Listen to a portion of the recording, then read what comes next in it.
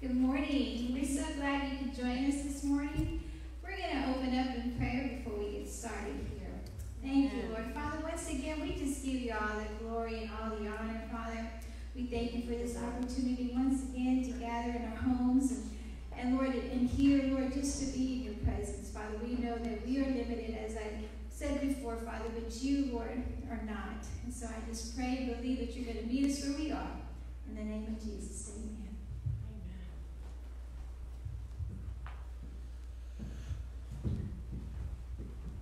Amen. Thank you, Lord. Good morning, church. Morning. Morning. I hope everyone is doing well. Amen. We miss everybody, Yes. but it's time for tithes and offering. And I hope y'all aren't making faces out there. I hope you're you're happy that the Lord is with us and keeping us, and we're so grateful. So we want to honor Him this morning with our tithes and offering. Amen. Amen.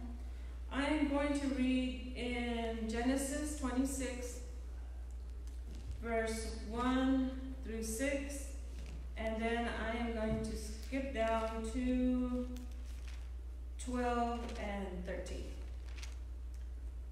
Genesis 26, 1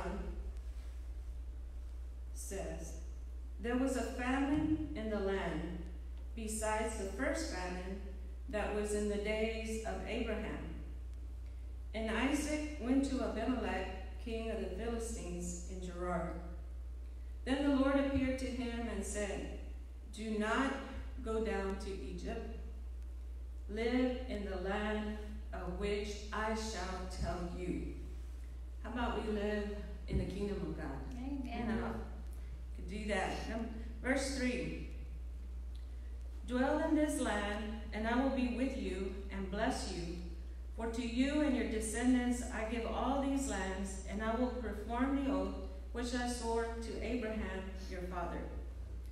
And I will make your descendants multiply as the stars of heaven, and I will give to your descendants all these lands. And in your seed all the nations of the earth shall be blessed. Because Abraham obeyed my voice, kept my charge, my commandments, my statutes, and my laws. So Isaac dwelt in Gerar. Verse 12 and 13. Then Isaac sowed in the land and reaped the same year a hundredfold, and the Lord blessed him. The man began to prosper and continued prospering until he became very prosperous. Amen. Thank you, Lord, for your word. Um, I was reading these scriptures and it really blessed me because of everything that's going on in the world. You know, we're not really in a famine, but you know, the economy, the way it is, and people are unemployed. And so a lot of people are running afraid, right? They're afraid, and fear comes because we don't know what the future holds. And you know, in the beginning, when all the coronavirus stuff was going, people were going crazy, going to the stores, and it was just us- uh, overwhelming to see that the the aisles at the grocery stores were empty. You know, and it seems like our economy was kind of a little bit shaken, but we're not in a physical famine because we still live in a country that that is prosperous and, and you know we have plenty to eat and everything there's no reason to run afraid amen Amen. Amen. and the lord gave abraham a promise that he was going to bless us right and this was really speaking to me because when when it all this first started I started getting emails about getting a loan from, from the government. You know, for businesses, we have a business and we've been in business 22 years and the Lord has been with us all this time. And so I kept getting these emails and this scripture was talking to me because it says that do not go down to Egypt. Egypt was the type of world system. Amen. And we have the promises of Abraham that it says here, and it says that and you know that we have His promises. So in Galatians it says that if we are in Christ, then we are Abraham's seed and heirs according to His promise. Amen. So these are His promises, and it's and then Isaac sowed in that land, and the land that I'm looking at is the, the land we live in in the kingdom of God. Yes. And in that land, the Lord, we have all these promises that we have in the Word of God today. And so it's not a time for us to start not sowing into the kingdom of God. It's a time to increase our, our giving because there's all these promises in it. You know, a lot of the first thing that we we think of, oh my God, there's a shortage, oh my God, I don't have a job, oh my God, and we tend to hold on really tight. But it's a time to release and and not concentrate so much on your paycheck, what you see in front of you. God has, if you're out of a job, God has a job for you. A perfect job is going to suit you. And if we sow into the land of God, into the kingdom of God, He promises that we would prosper. He promises He's not going to let you go hungry and, and He's going to provide for you because He ultimately, God is our provider. Amen. Amen. So I just disregarded all those emails because I didn't want to get into debt with the government, especially because we're unsure of everything that's going on. But I want to keep my trust on the Lord because we've been through highs and lows, and the Lord has never left us. He's never forsaken us, and that's what His Word says. And He will never leave us or forsake us. So don't be sad. Be happy that the Lord's in control of our lives because we have given our lives to Him. Amen. Amen. So we thank the Lord for that. So prepare your tithes and offering. You can give online at vclockhart.com. And or if you want to mail it in, some people are mailing them in, and it, it's at PO Box 1399, Lockhart, Texas 78644. Amen. So prepare that, and I will pray over it. Wherever you are in your homes, you can hold up your tithes to the Lord and, and, and offerings, and and I, we'll just bless that, and the Lord is going to provide for you. Amen. Thank you, Lord. Heavenly Father, we give you thanks this morning, Father, for your goodness. You're so good to us, Father. Lord, we thank you, Lord, that we don't have to depend on, on our paychecks, Father, to, to be provided for. Your promises and your word says that you will, you will provide for us, Father. That we are your uh, sons and daughters, and the Father will always provide for his sons and daughters. And Lord, I thank you for my brothers and sisters that are uh, preparing their tithes and their offerings, Lord. I pray that you would bless them, Father, that you would multiply it back to them, Father. That Lord, they would be blessed in their jobs, Lord. That they they would, and if they've lost their job, Lord, we pray that they would find one quick, speedily, Lord. We thank you, Lord. We come with a grateful heart. We give unto your kingdom with a grateful heart. We honor you with our tithes and offering. And Lord, and I just pray blessing over all the tithes and offering that are being sent in. And we sow into, into your kingdom, Lord. We sow into this ground, Lord. Here at Vision Church is good ground, Lord. And we sow into it, Father. And we look to other ministries to sow into, Father. Because you're, it's, a, it's a promise, Lord. If we sow, we shall reap, Father. So we thank you, Lord, that none of the ministries around, none of the churches around us, Lord, will be uh, lacking anything. Father, that if you are watching us and that you're um, not part of this uh, congregation, I pray that you would give into your, wherever you um, go to church, wherever you get fed, that's what you should be given. Amen. So we thank you, Lord, for what's being given into this ministry. Father, help the stewards, us to steward over it, Father, the way you want us to steward. And I thank you and I bless it and I, and we honor you with it this morning in the name of Jesus. Amen. Amen. Sister Sanders next.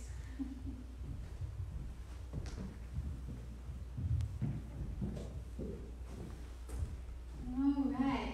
Well, it's time for the two announcements we have. I don't know why I keep bringing my phone up here, but just in case. We just want to remind you that you can always, once again, come join us on vclockhart.com, on YouTube and Facebook. And, and I was just remembering that, you know, there are services that maybe we need to be encouraged or reminded in God's Word So always go back. You know, sometimes you can look back at a message or a word that was given and, and you want to refresh your memory about what was said. You can always go back on Facebook or, or YouTube and visit those websites. And we would love to have you do that. And also just remember that we're continuing our Wednesday night services at 7. And now the English and the Spanish are doing lessons from David too. So we hope you are enjoying, enjoying them in the classes and that you're having a great time and learning a lot. Once again, we miss you, and y'all have a blessed day.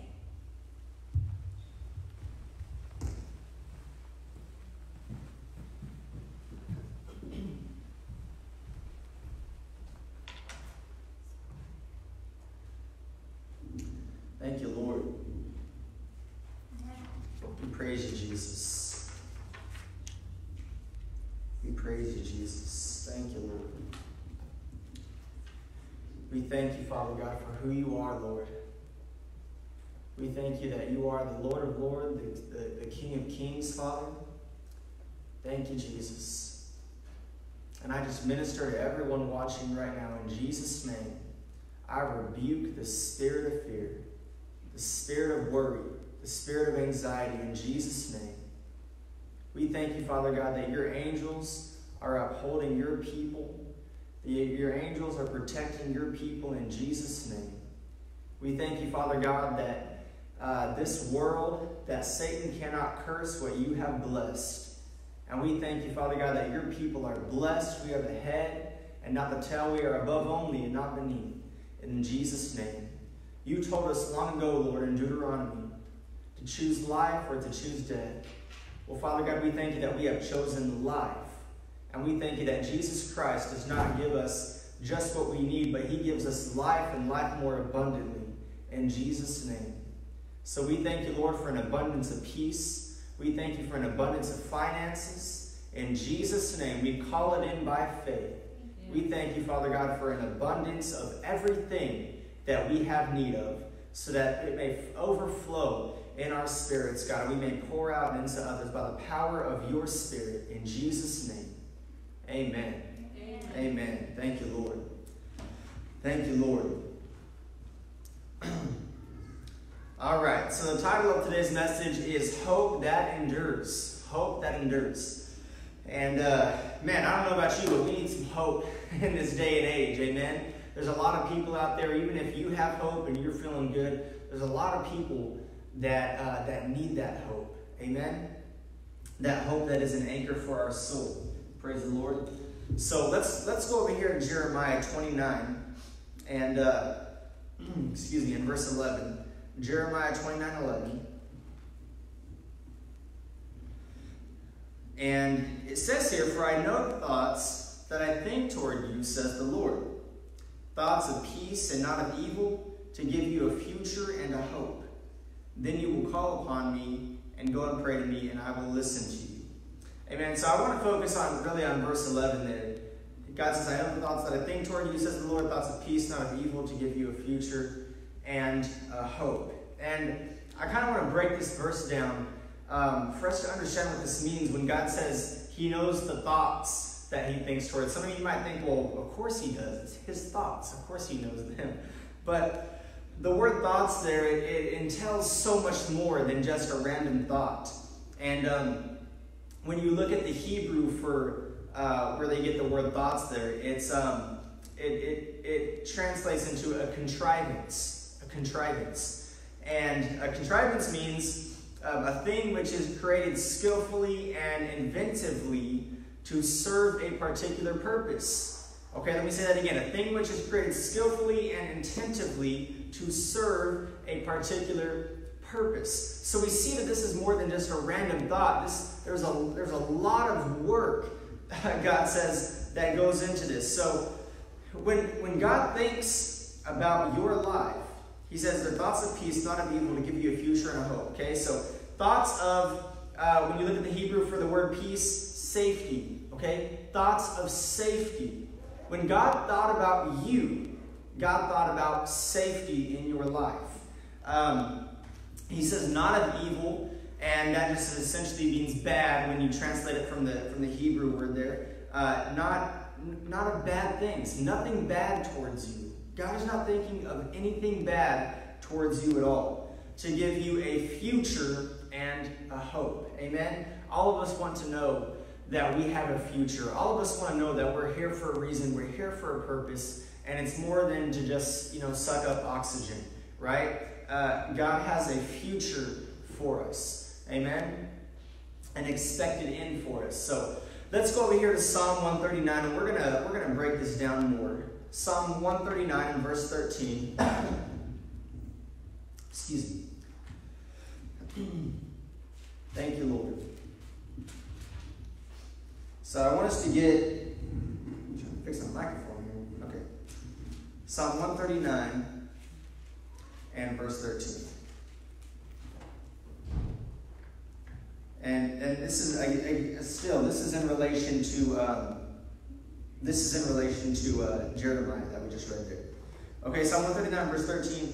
For you, God, formed my inward parts. You covered me in my mother's womb. I will praise you, for I am fearfully and wonderfully made. Marvelous are your works, and that my soul knows very well. Okay, so God didn't just slap you together, right? You see a kindergarten's drawing, it's usually stick figures. That's not how God created you. You are fearfully and wonderfully made. Amen? Picasso has nothing on God when he made you, the detail that he put into your life. In verse 15, my frame was not hidden from you when I was made in secret and skillfully wrought in the lowest parts of the earth. Notice he says skillfully wrought in the, in the lowest parts of the earth. Your eyes saw my substance being yet unformed, and in your book they all were written, the days fashioned for me, when as yet there were none of them. So we see that you have a purpose. The purpose was in you from the moment of conception.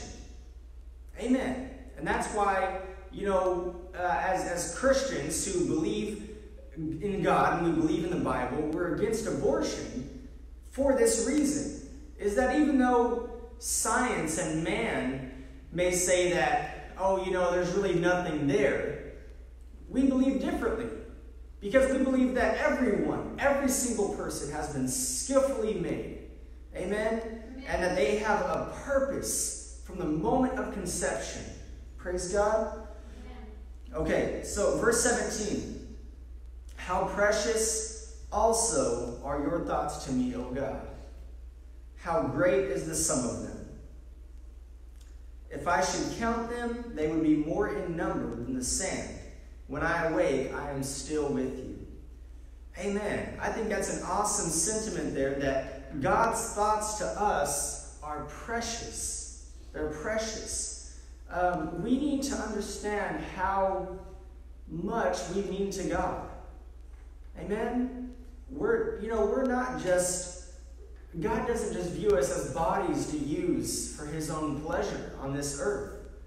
You know, God, um, he loves us. And he's, he's, we see here the skill that it took for him to make us, and not just physically, but on the inside, with the purpose, with the calling, with the destiny. Amen? God is invested in you. God invested in you before you were anything.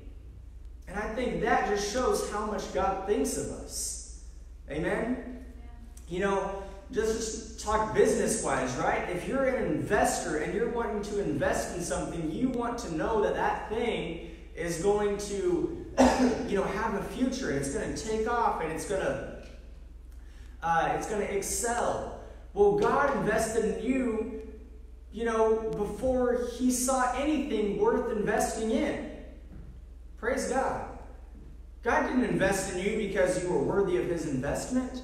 God invested in you because of his unconditional love for you. And that's what unconditional love is. Is there's there's nothing on the outside to make God love you. And God loved you when you were nothing. When you couldn't do anything, when you couldn't even think, God loved you and invested in your life. Amen. Amen. Every person has a purpose. That doesn't mean every person fulfills their purpose. And it says all that, that um, in God's book, all the days were fashioned for us. It doesn't mean that we, you know, and we'll talk about this in a second, but it doesn't mean that we always follow God's will or fulfill the purpose that He's placed within us. But nevertheless, it is there in every single human being on this earth. Amen. It doesn't matter where you're at. It doesn't matter, you know, if you if if you feel like you're limited because you have a, a, disability or you know anything like that. You have a purpose from God. Amen. God has a purpose for you. Praise the Lord. Let's go over here to Jeremiah 1 5. Jeremiah 1 5. It says, Before I formed you in the womb, this is God talking to Jeremiah, I knew you. Before you were born, I sanctified you. I ordained you a prophet to the nations. So God knew us before we were even being formed in the womb. God knew you, and God knows you now better than anyone does. You know, that's why in my life, you know, sometimes in life you're just going to feel misunderstood, even by your spouse, even by those close to you, you're going to feel misunderstood. But God, who skillfully uh, made you, amen, in the lowest parts of the earth, God who skillfully made you, He knows everything about you. Amen. He knows your habits, He knows your desires, He knows everything about you. Excuse me.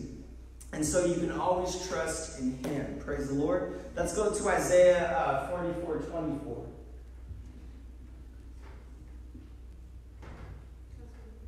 Do we have that one? Isaiah? It's okay if we don't. Okay, thus says the Lord your Redeemer, and He who formed you from the womb. I am the Lord who makes all things, who stretches out the heavens all alone, who spreads abroad the earth by myself. So God says, I formed you in the womb. He says, I have made all things. Amen? And God really, when you go back to Genesis, God made all things for our pleasure. Uh, but, you know, Adam's sin, it um, really corrupted things and tainted the perfect creation of God. But nevertheless, um, the earth we live in today is still beautiful. Amen. And God made all things. Now, I want to describe, I want to put out a couple, um, a couple facts here. And this just helps us to understand how awesome God is when He formed us in the womb. Is that it takes uh, six months in the womb before the cortex uh, starts being formed. And the cortex is the center of your consciousness. Okay? So it takes six months uh, before the cortex um, uh, starts being formed. Okay? Uh, between week five and six, um, you, you will have your first electrical brain activity uh, in the womb. Between weeks five and six, you'll have the first electrical brain activity occur. So, this is awesome. Before you even thought or were able to think, God began to put to work all, listen to this, all of his infinite wisdom to specifically plan your life with minute detail. Hallelujah. A lot of the things that we're worried about in life, we really should not be worried about.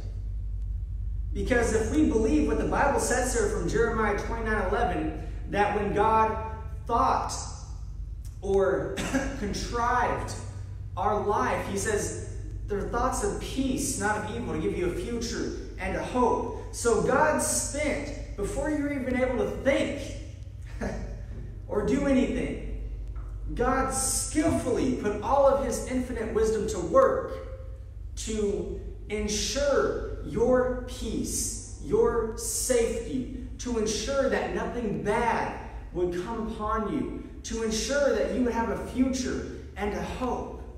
God spent a lot of, of, of, of, time, and I don't know if I should say time, but He spent a lot of effort and energy and skill making you in your mother's womb. Praise the Lord. And I know some of you are probably thinking, well, you know, I've experienced plenty of harm in life. But listen, any harm that we've experienced, it's been outside of, of, of the will of God. Of course, there's the exception of persecution that we see in the Word of God. But even through the persecution, we see with Jesus that, that God protected Jesus. There are many times when the religious people wanted to stone Jesus, and he was being persecuted, he was being lied about. But God protected him until it was his time to be the Savior of the world and to sacrifice himself for us. And I'm telling you, that's not God's will for anybody else. God doesn't want anybody else to sacrifice themselves and to do what Jesus did and go through what Jesus did for, uh, for the sins of the world. Amen. Jesus already accomplished that, praise God. And so there is persecution that you will go through, but even in the midst of that persecution that Satan will bring against you, God has, has skillfully planned your safety, your protection. Amen. Thank you, Lord. Let's go to Proverbs chapter 8 and verse 22. Proverbs 8, 22. Thank you, Lord. It says here, this is talking about uh, this is talking about wisdom here in Proverbs chapter 8. And I want us to understand when we read there in Isaiah that God makes all things, I want us to understand exactly uh, what wisdom, the part that it played in our creation, in the making up of who we are. So Proverbs 8 turns through, the Lord possessed me wisdom at the beginning of his way. Before his works of old, I have been established from everlasting. From the beginning, before there was ever an earth, when there were no depths, I was brought forth when there were no fountains abounding with water. Before the mountains were settled, before the hills, I was brought forth. While as yet he had not made the earth or the fields or the primal dust of the world. When he prepared the heavens, I was there. When he drew a circle on the face of the deep. When he established the clouds above. When he strengthened the fountains of the deep when he assigned to the sea its limit, so that the waters would not transgress his command, when he marked out the foundations of the earth, then I was beside him as a master craftsman, as a master craftsman. And I was his, uh, and I was daily his delight, rejoicing always before him, rejoicing in his inhabited world, and my delight was with the sons of men. Amen. So this is wisdom talking here, saying that he was that wisdom was with God in the beginning when he made everything. And I'll tell you that wisdom was with God when he made you. When he was skillfully planning your life. We need to understand how valuable we are if we are ever to fulfill the purpose that God put us on this earth to fulfill. Amen? You're not just here to work a nine to five job and to make money, although we need that. but that is not your purpose, though. That's one of the things that you do, but that's not your purpose. And the reason why a lot of Americans are feeling unfulfilled is because they're putting their purpose in the wrong thing. They're putting their purpose in whatever makes them money. And that is not your purpose in this life. God has so much more for you. We need to work, we need to make money, but that is not your purpose. And so, if we'll learn what our purpose is, that'll spark and ignite that hope, that fire of hope within us that will keep us going in this life. The reason why people faint and fall off to the side and, and give up is because they lose that hope. And I believe we lose that hope because we lose that purpose that God created us with. Amen? Hold on to that purpose. Jesus was a, a, a great man of purpose. You know, when, when his mother Mary came to him and said, All the wine at the, at the party is gone, at the wedding party is gone. And Jesus said, Woman, it's not my time yet. Amen. Jesus knew he had a purpose. Praise God. And he knew that that purpose had, had, a, had a time frame for him. And so I want you to know that you were created with a purpose on this earth. Amen? Um, we, let's go to 1 Corinthians 127. 1 Corinthians 127. But God has chosen the foolish things of the world to put to shame the wise, and God has chosen the weak things of the world to put to shame things which are mighty. Praise the Lord. So, if wisdom was with God when He made everything, including you, and He skillfully made you, it's, it's interesting here. God puts wisdom to shame with foolishness, so imagine what He can do with wisdom.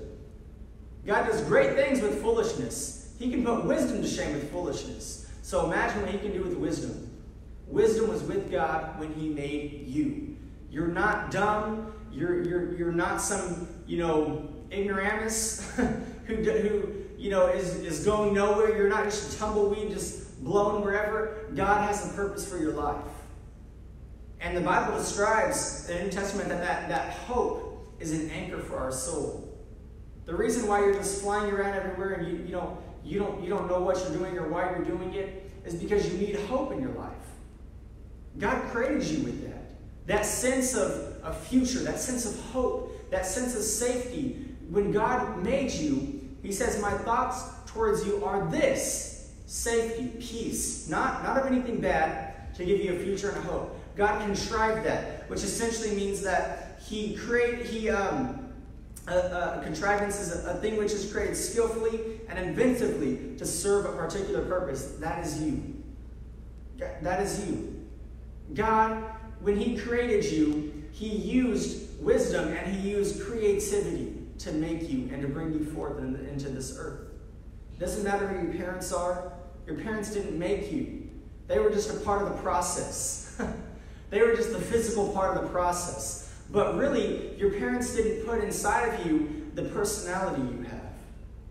Amen? Your, your parents didn't put inside of you the desires that you have. God put all of that inside of you. God is the one who made you. And your parents were just a part of that physically. Amen? So, praise the Lord. Do not give up hope. You have a future and a hope. And God skillfully and inventively created you to know that you have a future and a hope. Praise the Lord. Okay, let's go to Romans 12 2. Romans 12 2.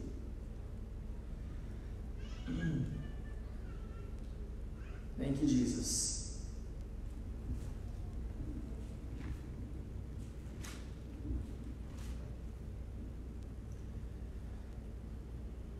Romans 12, 2, it says, Do not be conformed to this world, but be transformed by the renewing of your mind, that you may prove what is that good and acceptable and perfect will of God. Okay, so we see in, in Psalm 139 that the, the days were fashioned for us in God's book. I think that's awesome that God has a book about our life. That should also tell you how much God thinks about us. Amen? God has a book about your life. Um, but we must understand, it says here, in order to prove the good and acceptable and perfect will of God, in other words, the book where all our days are fashioned for us, do not be conformed to the world, but be transformed by the renewing of your mind. Amen?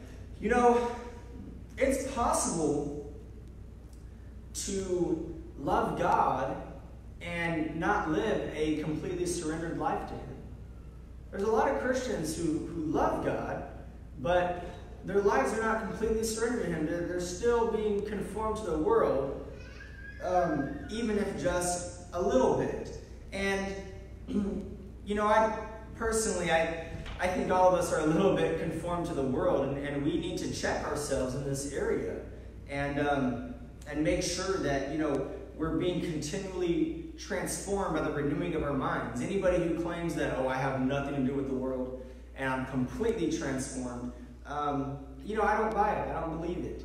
Uh, because all of us are striving towards that uh, perfection and excellence that Jesus um, left for us to imitate in his life. Amen. Like in Ephesians 5:1, he says, Be imitators, praise God, of, of our Father in heaven. So, but nevertheless, we need to check ourselves and say, Am I being. We're all changing. All of us are changing. all the time. And we need to ask ourselves okay, am I being more conformed to the world or am I being transformed by the renewing of my mind? Amen?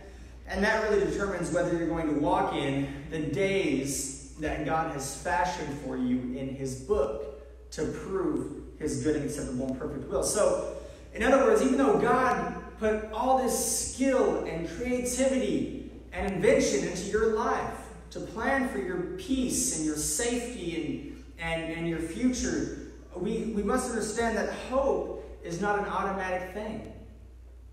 Amen? Hope is not an automatic thing. Let's go to Proverbs 13 12. It says, Hope deferred makes the heart sick, but when the desire comes, it is a tree of life. Praise the Lord. All of you experience this, you know, especially on Christmas time, maybe, you know, as a child growing up, that, you know, when, when Christmas time comes, you have a certain expectation about what gift you want to receive. And uh, when you open up that gift, if it's what you want, man, the desire comes, the tree of life. You're excited, you're running around the living room. Praise God, you got what you want. You got a PlayStation or you got an Xbox or, you know, you got the toy you wanted, whatever it was. You got what you wanted. But if you open your gifts and you don't get what you put on your on your gift list or you know, if, if it's not what you expected, you know, if, if you're a good kid, you might try to hide your countenance but really on the inside, your heart is sick. Amen? And that's exactly what he's talking about here. See, hope, it simply means expectation. Expectation. And something that is deferred, it simply means to be postponed. Postponed. So, in other words, when things don't happen how you want, uh, when you want, your heart will become sick, is what the Bible says. And, excuse me, and going back to hope and our our calling and God's will for our life, I believe there are many who have missed out on God's best for them due to not following God wholeheartedly, and, and many hearts were made sick um, as a result of that. Praise the Lord. In other words, we're not being transformed by the renewing of our minds, and so we experience something that God didn't plan for us, that wasn't God's will. And, and uh, God still loves you, but listen, if you're not following God wholeheartedly, you are not going to fulfill His will. You are not going to fulfill that purpose on the inside. And that's why people who are trying to lead a life without God, that's why they're, they're hopeless. You know, they may look all fancy and, and nice in the cameras and stuff and, and on Facebook, you know, smiling and, and everything. But I'll tell you, inside, when the cameras are off, when no one's looking at them, they're dead inside. They're, they're longing for something more in life. Praise God. And so, truly, the best way to live is to follow God with all of your heart because, again, God skillfully made you. He put those desires in you, whatever those desires are, whether they're for business or whether they're to help people in a certain area. Whatever God put inside of you, that's a desire that came uh, from Him to do good. Amen? But, you know, again, there's many who have missed out on God's best for them because they haven't followed God wholeheartedly. They're not being transformed by the renewing of their minds, and therefore they lose sight of that future and that hope that God created them with. Amen? And they get out into dangerous waters, and they get out from under the hand of the Lord, and their peace and their safety is no longer, you know, guaranteed for them because not because God doesn't love them, but because they've refused to do things God's way and to follow Him and to choose life. Amen? So Praise the Lord. You know, in Romans chapter 1, he says, let me actually take us over there. In Romans chapter 1, and um, God essentially says here, if you want to live a life of sin and follow your own way, that's up to you. But it says here in um,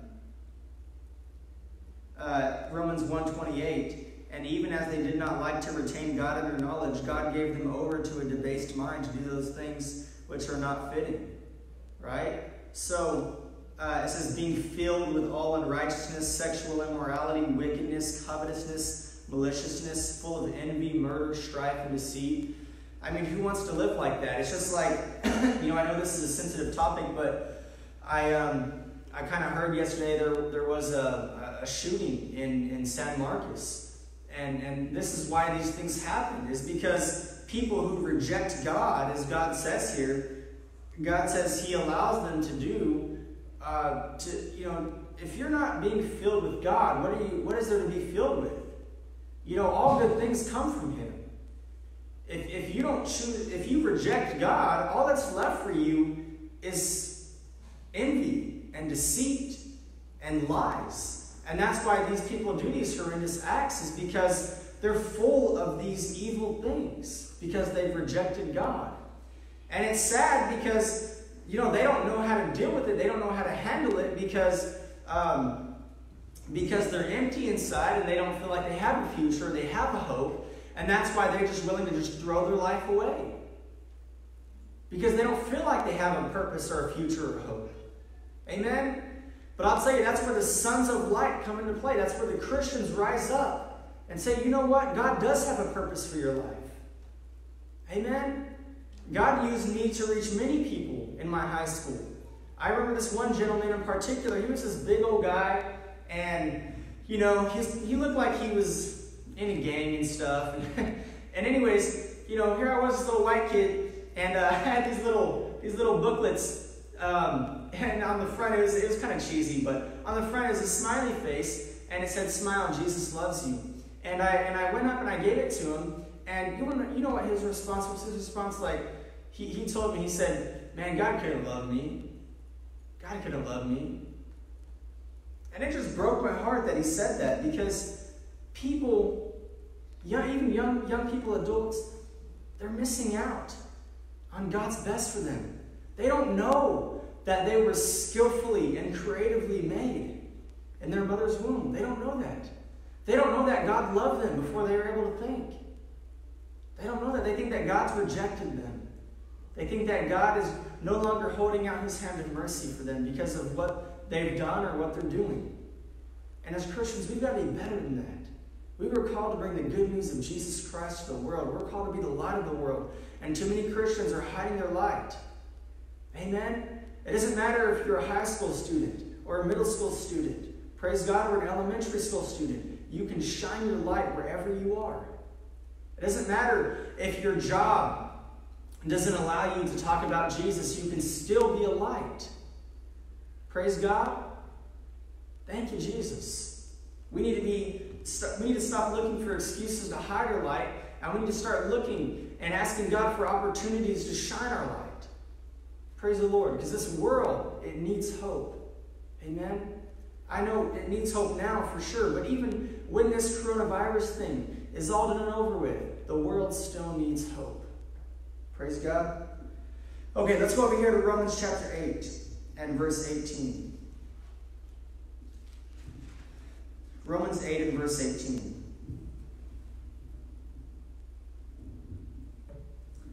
I love this here. It says, For I consider that the sufferings of this present time are not worthy to be compared with the glory which shall be revealed in us. For the earnest expectation of the creation eagerly waits for the revealing of the sons of God. For the creation was subjected to futility, not willingly, but because of him who subjected it in hope because the creation itself also will be delivered from the bondage of corruption into the glorious liberty of the children of God. For we know that the whole creation groans and labors with birth pains until together until now. Not only that, but we also who have the first fruits of the Spirit, even we ourselves, groan within ourselves, eagerly waiting for the adoption, the redemption of our body. For we were saved in this hope, but hope that is seen is not hope. For why does one still hope for what he sees? But if we hope for what we do not see, we eagerly wait for it with perseverance. Likewise, the Spirit also helps in our weaknesses, for we do not know what we should pray for as we ought, but the Spirit Himself makes intercession for us with groanings which cannot be uttered. Now, He who searches the hearts knows what the mind of the Spirit is, because He makes intercession for the saints according to the will of God. And we know that all things work together for good to those who love God and to those who are called, who are the called according to his purpose. Amen? So I want to kind of break this little section down a little bit, and, and um, but essentially, we understand he's talking about the next life here. He's talking about uh, hope, and he's talking about the next life after this life here on earth. And he talks about the revealing of the sons of God. And uh, we're not going to go there, but starting in Matthew chapter 13 and verse 36, we see the parable of the wheat and the tares, right? How Jesus essentially says that the angels will take all evil, including people who have subjected themselves to evil and rejected Christ, um, that the angels will take all evil and dispose of it, and the people of God will shine forth. Um, uh, and we see in 1 Corinthians chapter, um, excuse me, chapter 15 about we, we see there about the, the new glorified bodies, right? How mortality will be swallowed up by immortality and corruption will be swallowed up by, uh, by incorruption. And so we understand that he's talking about the next life, how the sons of God will be revealed, um, will shine forth because God is going to take away all the evil and the sin and everything and dispose of it. And, um, and we understand here where it says in verse 22 in Romans 8 22 that this time is near. This time is near um, for all of this to take place. In other words, labor is setting in and the, the birth is about to take place. This thing is about to take place. So, um, essentially, what he's telling us is we need to hold on to the hope because the things that we suffer in this present world, he says, they're not to be compared with the glory which shall be revealed in us. Okay? So he talks about our hope in verse 24. For we were saved in this hope but hope that is seen is not hope, for why does one still hope for what he sees? So, in other words, we can't see the labor pains going on. I mean, maybe we can a little bit when we see, you know, different viruses and famines, uh, famines and different things like that going on. We can kind of see some of those labor, you know, pains. But a lot of people have, have closed their eyes to that. But as Christians, we must understand we're not a son of this world. We're a son of, we're a son of God. Amen. That's not a gender specific term, but we're a son of God, we're a son of the light. And he says, hold on to this hope of what is to come. Praise God. We have a purpose here on earth, but let's also hold on to this hope of what is to come. Praise the Lord. And he tells us in um, uh, verse 25 but if we hope for what we do not see, we eagerly wait for it with perseverance. So even though we don't see anything, we don't see the angels or anything, we don't see heaven getting ready to send the angels to come and, and throw the tares away and keep the wheat. We don't see any of that, right? But he says we eagerly wait for it with perseverance. So we're going to need some perseverance. We're going to have to endure through some things. And what's going to get you through the tough times and the sufferings is that hope of what is to come. So praise God for the hope, the purpose that God created us for here on earth, but there is also a hope that is uh, to come. Amen. Amen. And we need to be persevering and pushing through uh, things that we, you know, have to deal with on this on this earth that is that is corrupted. Amen. Praise God until God comes and makes everything right. But in the meantime, he says, don't be moved by what you see, because hope is not according to what you see. If you see it, it's no longer hope. It's no longer expected. It's, it is. Right? So don't be moved by what you see. And then he tells us in verse 26 that the Holy Spirit will help you in your weaknesses. None of us are perfect. None of us have it all together. I don't think any of us are 100% in faith all the time. You know, but the Holy Spirit will help you in your weaknesses. God tells us, He says, listen, in Corinthians, I won't allow you to be tempted beyond what you're able. But with the temptation, He will make a way of escape for you. Praise God. So, in other words, you know, there will never be something in front of you, an obstacle, or, or some, or there, God will never allow Satan to tempt you to a point that you're not able to resist him. God will always make sure that you are able to resist the enemy and to follow God and take the way of escape that God has made for you in the midst of that temptation. Because temptation doesn't come from God, as we see in James. Amen. But God makes the way of escape. The escape comes from God. Praise the Lord. God says, Submit to me, resist the enemy, and he will flee from you. Praise the Lord. So, um, praise God. So we're responsible for our life and the way our life goes and, and fulfilling the purpose that God made us for. Amen? But the Spirit will help you in your weaknesses. And I'll tell you, we need to be relying on the Holy Spirit more than we are now. We need to be looking to Him. He's the Spirit of truth. He will lead us and guide us into all truth. We need to be looking to the Spirit more than ever. Praise God. Because He is the one who helps us in our weaknesses. A lot of Christians are crumbling over their weaknesses and, and they're looking for help. Well, I'll tell you, the help is right here. The Holy Spirit will help you. He is your helper. That is the reason why He was sent to this earth by Jesus to, to dwell in you. Amen?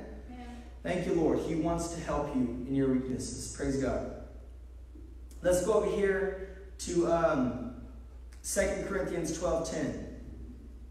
2 Corinthians 12.10. This is, uh, this is Paul speaking here. Therefore, I take pleasure in infirmities and reproaches and needs and persecutions and distresses. Uh, I don't know about you, but that sounds like a lot of weaknesses right there, right? He says, For Christ's sake, for when I am weak, then I am strong. In other words, Paul's saying, Man, I have all these weaknesses and these things I go through where I don't feel strong, I don't feel mighty, I don't feel like a great man or woman of, of, of God or of faith. But Paul says, it's when I'm weak, then I'm strong. When you rely on the grace of God, is what he's talking about in the context there. The grace of God, the Spirit of God helps you according to the grace of God. Amen? And uh, let's go to Mark 9 24. I love this here. In Jesus' interaction, the disciples could not heal this man's boy. And so Jesus came and said, You know, man said, Jesus, if you can do anything, help me, heal my son. And Jesus said, If you can believe, all things are possible to him who believes. And this is the man's response. He's crying out with his weaknesses. He's saying, Immediately the father of the child cried out and said, says, Lord, I believe, help my unbelief. Okay? So that was the man saying, Lord, I believe, but I also have weaknesses. And we see that the boy of this man was healed.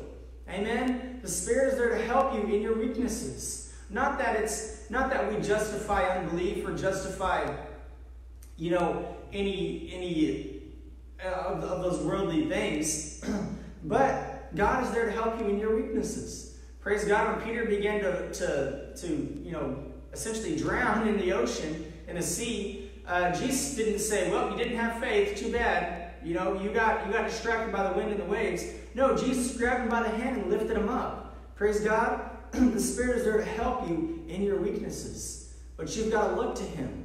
Amen. Because Jesus is no longer physically on this earth to help you.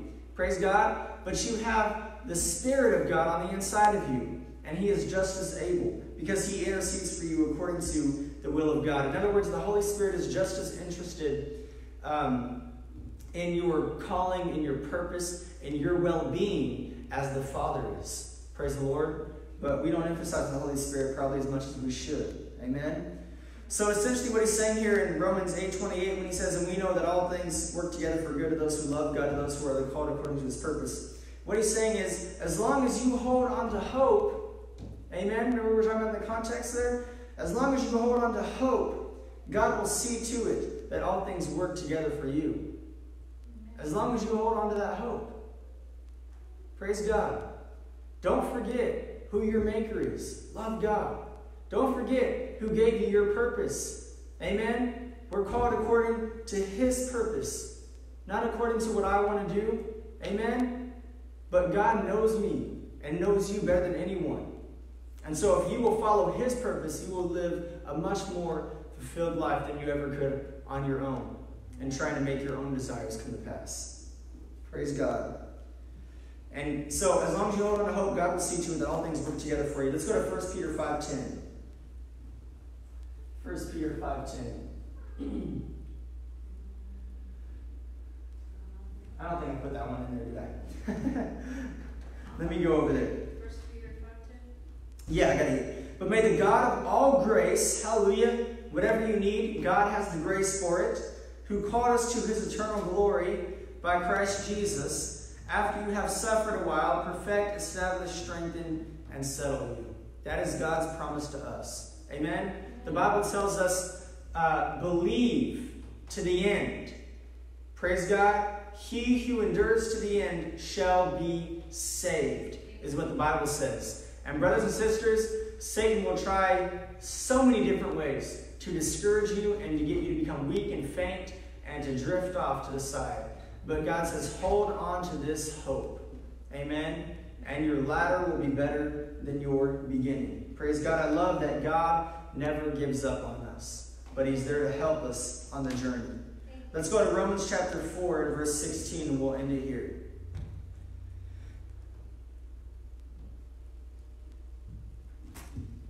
Romans 4:16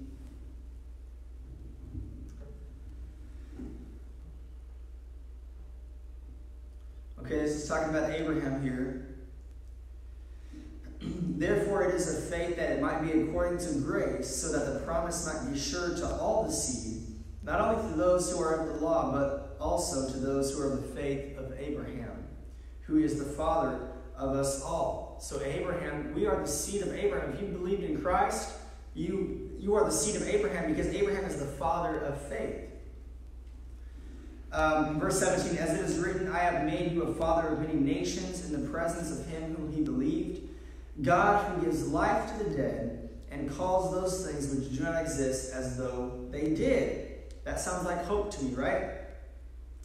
In verse 18, who contrary to hope, and hope believed, so that he became the father of many nations, according to what was spoken, so shall your descendants be. So there's nothing on the outside to give um, to give you know God hope or Abraham hope about Abraham having many descendants, but they didn't lose faith, they didn't lose hope. In verse 19, and not being weak in faith, he did not consider his own body already dead, since he was about a hundred years old, and the deadness of Sarah's womb.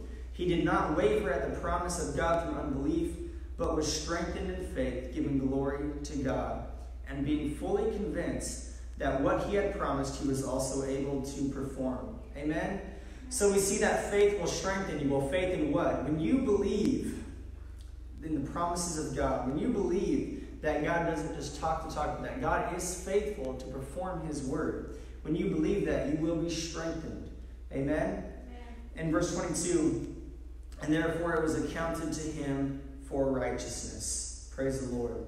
So we see there the importance of hope, how Abraham, the, the way that he endured through that, that dry spell, so to speak, of when God gave him that promise, you know, that he'll be the father of many nations, and, you know, it didn't look like anything was going to happen, but Abraham endured, and he strengthened himself. And I want to encourage you to strengthen yourself with the promises of God because God is faithful in your life, and He wants to prove His faithfulness to you. Amen? He has not abandoned you, He has not forsaken you, He has not forgotten you. God loves you, and He still has a future and a hope for you today.